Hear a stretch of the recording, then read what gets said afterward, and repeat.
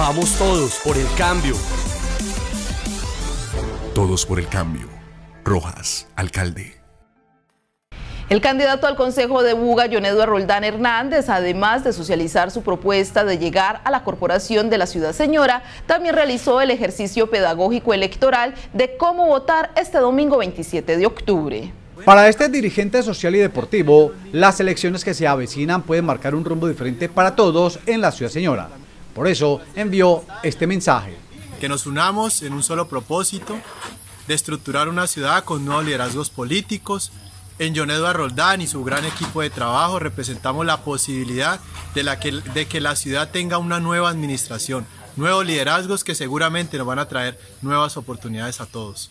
A porta de las elecciones de este domingo 27 de octubre, donde se elegirán ediles, concejales, alcaldes, diputados y gobernadores, esta es la invitación del abogado y administrador de empresas, quien espera que la comunidad le dé su respaldo en las urnas.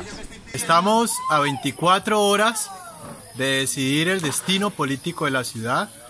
Eh, la invitación es a que votemos por el partido de la U número 13, John Eduardo Roldán, por un docente, por un profesional del derecho, de la administración, un profesional que ha trabajado por el deporte. La invitación es esa. En las reuniones de familias y amigos, John Edward U13 en el tarjetón, así hizo el ejercicio pedagógico con quienes lo escucharon noche tras noche en Guadalajara de Buga. Muy importante porque pues, se pueden presentar inconvenientes a la hora de marcar. Tenemos que revisar que la tarjeta electoral diga al Consejo Municipal. Tiene un color allí como rosado que diga Consejo. Inmediatamente buscamos dentro de las diferentes columnas. Allí está el partido de la U. Y vamos a desplazarnos a buscar el número 13, el número de la suerte, el número de las oportunidades.